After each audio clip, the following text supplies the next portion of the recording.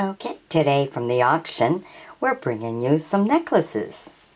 Some of the nice old gold ones. Okay, first we have, of course, just a plain chain, which is something everyone always had to have, at least a couple of plain chains, just for your dress up, depending on what you're wearing. So that was part of the, always having one in your jewelry box. Okay, and look at this one. This one's a really different design. Nice gold piece.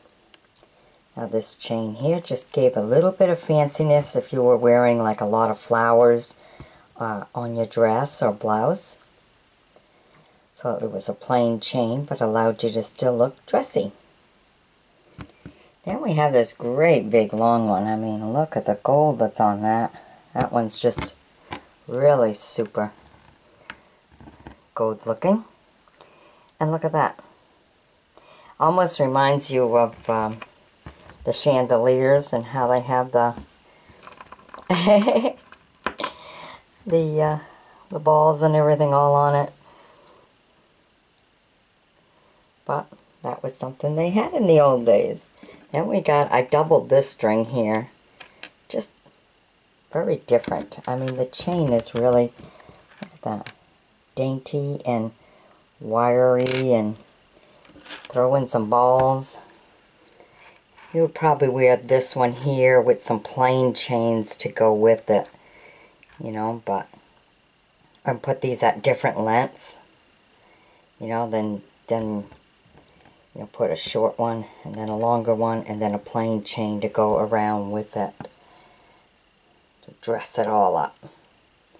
Okay, and this one here is a three-piece. Beautiful piece. I really kind of like how this little ball is here at the end. Rather pretty. And then there's two more right here for on the sides. Very, very pretty balls. You know, and it's a beautiful gold necklace. I mean, you know, it, it really looks pretty. It's really beautiful. The sad part is, to me anyhow, is where it hooks up. They did not use the same quality hooks as the necklaces. See how it's losing its color and everything. I just don't feel it's the same quality as the necklace itself. So that was a little disappointing to see. So I don't know if the company was ever aware of that, but see how it's lost its colors tarnished. But the necklace itself is just beautiful.